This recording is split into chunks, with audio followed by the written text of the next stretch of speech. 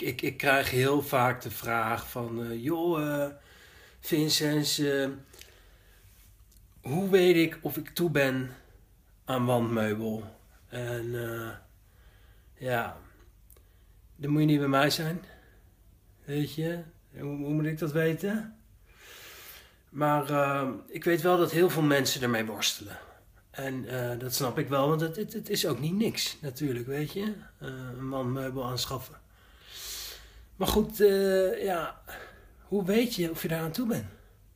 Snap je? Kijk, als jij bij mensen thuis komt op visite, ja, gezellig op de koffie of iets dergelijks. En je ziet daar een wandmeubel en dan bij jezelf denkt, nou, goh, dat wil ik ook. Dat wil ik ook. Ja, als je uit die overwegingen een wandmeubel wil gaan aanschaffen, dan kan ik alleen maar zeggen van, nou, dan ben je niet lekker bezig. Dan ben je niet goed bezig.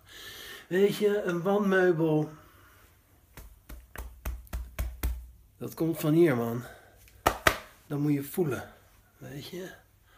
Dat een wandmeubel, dat komt recht uit je hart. Ja, en als je recht uit je hart echt denkt van, nou, ik wil een wandmeubel. Mijn zegen heb je, weet je. Mijn zegen heb je. Maar goed, ja, eh, dan nog moet je er wel even over nadenken. Want eh, heb jij überhaupt wanden om dat fucking wandmeubel tegenaan te zetten? Ja? Heb je daar eens over nagedacht? Heb je wanden? Nou ja, heb je toevallig een wand? Dan kan je gaan denken van ja, pas daar een wandmeubel tegenaan. Want ja, je kan hem niet zomaar in het midden van de kamer flikkeren. Dat, dat, als jij bezoek krijgt, dat mensen dat zien. En wat zullen die mensen dan wel niet over jou denken? hè? Dan denken ze, wat is dat voor een begon met zijn wandmeubel in het midden van de kamer? Nou, en dat wil je dus niet, weet je?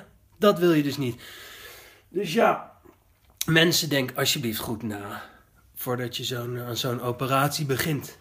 Weet je, in Zuid-Afrika zijn ze ook al jarenlang bezig met de vraag over wandmeubels. En ze zijn er nog niet uit. Nou, ga jij maar zo'n wandmeubel in de plaggen flikkeren. Dat gaat niet, weet je. Maar goed, heel veel bezoek krijgen ze daar ook niet, dus dat scheelt. Maar goed. Ehm, nou ja, mijn lievelingsdier is eh eh, hangaap.